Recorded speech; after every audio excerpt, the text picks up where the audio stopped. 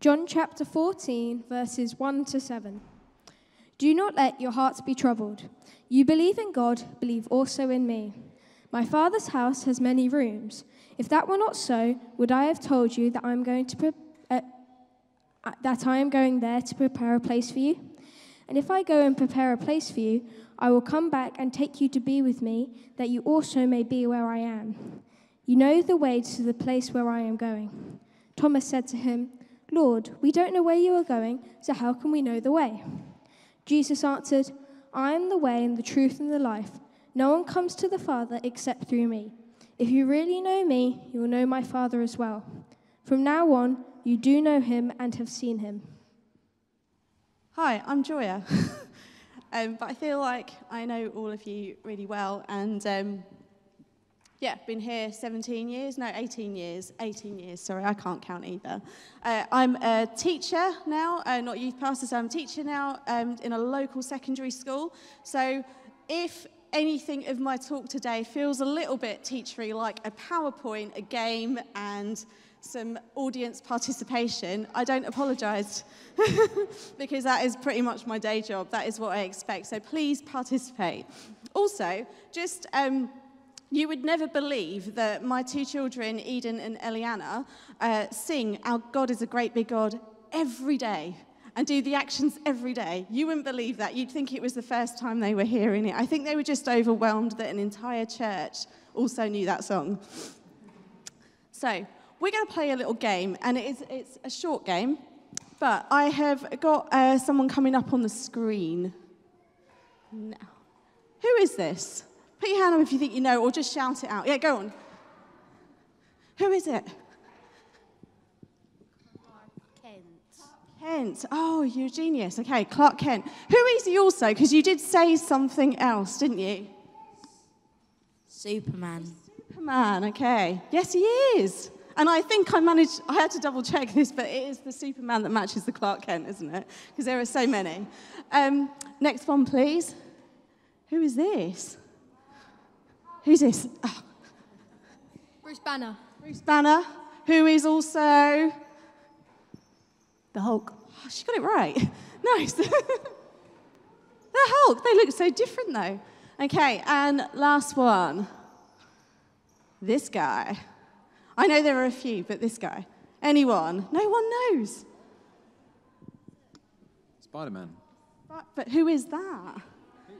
Peter Parker, but it is also Spider Man. Yeah. So if you meet Peter Parker, you're actually beating. Oh, sorry, everything's turned off here. Bear with. If you meet Peter Parker, you also meet Spider Man. If you meet Clark Kent, you're also actually meeting Superman.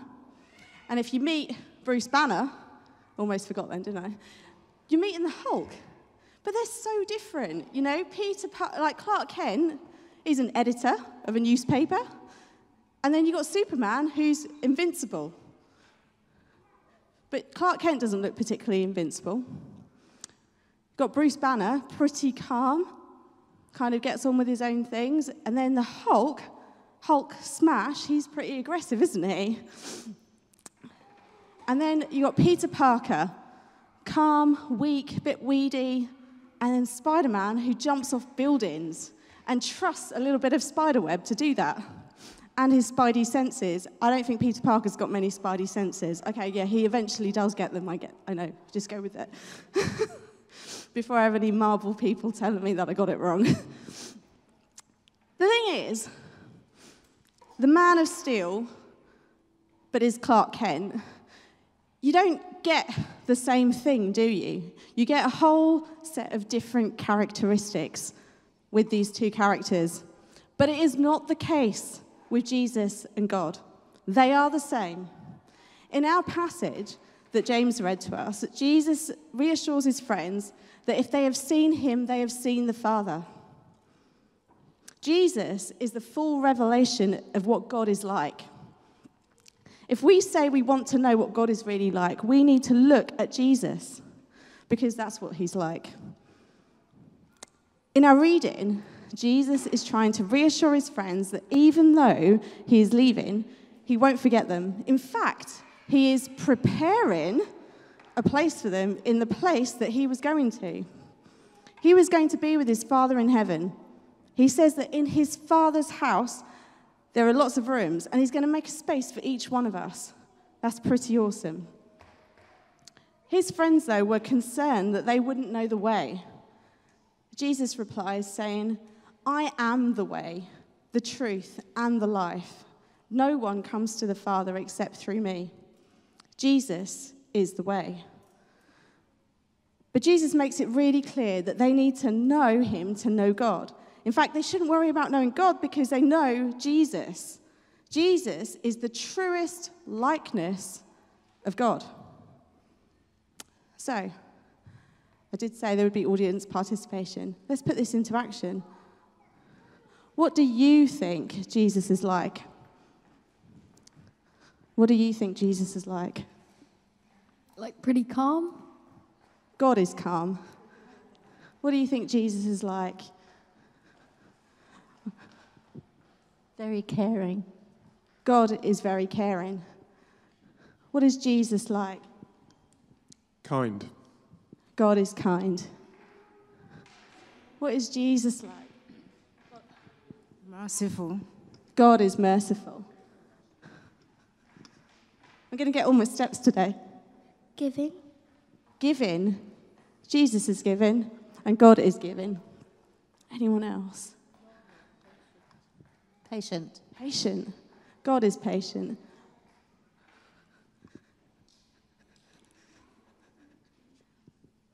Loving.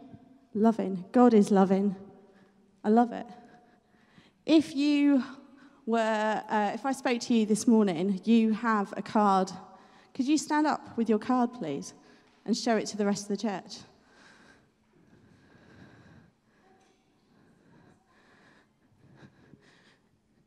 God is the way because Jesus is the way. God is gentle, Jesus is gentle. God is compassionate because Jesus is compassionate. God is forgiving because Jesus is forgiving. God is our Savior. Jesus is our Savior. God is kind. Jesus is kind. God is the truth because Jesus is the truth. God is patient because Jesus is patient. And all of these things are held together because He is love. God is love. Jesus is love.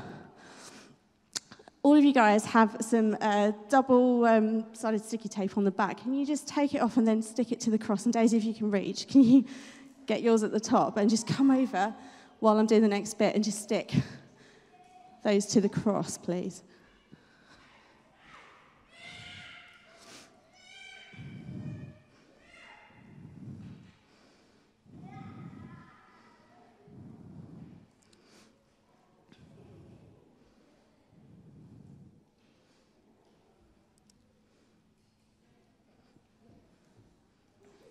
I didn't really think the height thing through, did I?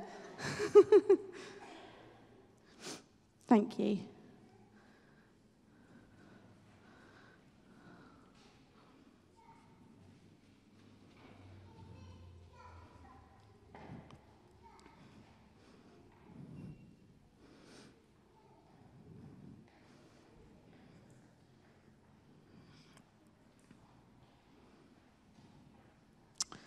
Our passage starts with Jesus saying, Do not let your hearts be troubled. He had just finished, finished washing their feet and explained that he would be betrayed. They'd received some tough news.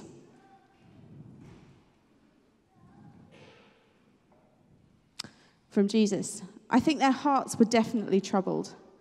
But he picks this moment to explain where he's going and to give them hope they can be sure of. We, um, we have a three year old and we also have a 20 month old, but it feels like a blink of an eye that they were newborn and Eliana was newborn right in the thick of lockdown. And uh, we did all of the things, you know, we, I would say we read all the books, but if you've been a new parent, there is no time to read all of the books. So if you did read all the books when you were a new parent, I don't know how you did it. But we now have apps, right? So I did look at a lot of apps and we try to do all the things to make them really like, you know, confident but also secure and like for them to know that we love them and all of those things. And yet, separation anxiety is still a thing, right? You can't close the door to the toilet anymore because they think you've gone completely. You can't go to put the bins out because they think they're not going to come back. Why does that still happen? And no matter what you do, whether it is that you do the sneak out, they'll never notice, they notice, and they hate you going out, and that, that makes them feel bad. Or if you do the, right, darling, I'm just going to go downstairs, I'm going to put the bin out, and I'm going to come back, and they're already downstairs with you by the bin because they don't believe you're going to come back. I don't get it. But it still seems to be the thing. They hate leaving, uh, seeing you leave.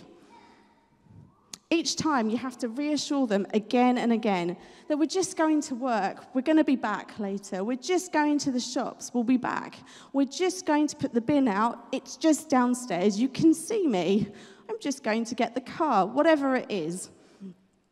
And we have to remind them that they are safe and that they can trust us. Eliana, even now, says to me when I come home from work, Mummy, you're back. Like, that's a surprise. And like, I always come back. I feel like the disciples had some of this going on. They would feel settled around Jesus, but then question things, feel settled again, and then question it again. And this occasion was no different. They were deeply troubled by some of the things that Jesus was revealing to them about being betrayed and having to leave. This is when he reveals that not only is he going to where he prepared a place for them, but he's been the way the whole time. He's been the way, the truth, and the life the whole time. That hasn't changed. He is the truth, and he's exactly what God is like. And they can trust him, and we can trust him.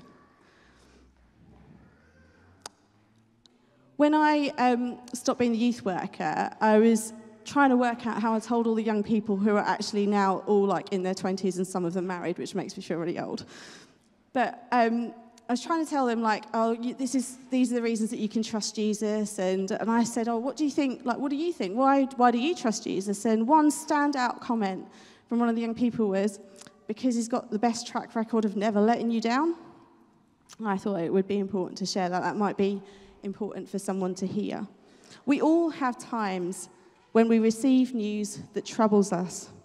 We only have to turn on the TV sometimes and we see stuff that troubles us. We're going to go through stuff where our hearts are troubled, and yet in the middle of this, not after the situation, but in the middle, in the rubbish bit, Jesus wants to explain that He is the hope that we can have. I know that it isn't easy, and I'm looking about amongst my friends and knowing that it isn't easy in this season for you to hear that. And just like children with their parents, we get this anxiety and we're not sure again. And it's in these moments that Jesus wants to reassure us and restore our hope all over again. And maybe it is every single day that you need Jesus to restore your hope. And I, sometimes that's me. Every day, I need Him to restore my hope and remind me of what He is like. That He is hope, the hope that enables us to live every day, to hang on one more day, to keep going another day.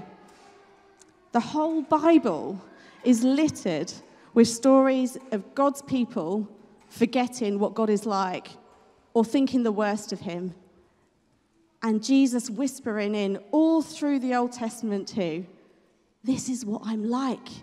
This is what I'm like. This is what I'm like. You thought this, but this is what I'm like. We hear Jesus saying so many times, You heard it said, but I say. Each story is like a signpost. I did it right. Okay, I was worried. Each story is like a signpost to who Jesus is and what God is like. Let's pray. Father, I thank you for my beautiful church family who've been my family, my friends for so long. And I just want to lift up each one of these guys that are watching here today, but also online, Father. Would you, um, would you show them what you're like? Would you show them the bit that they need to know today to carry on one more day? To know that it's going to be okay when they go back to school? to know that it's going to be okay in that lesson with those students or that teacher or that person in that workplace or that situation.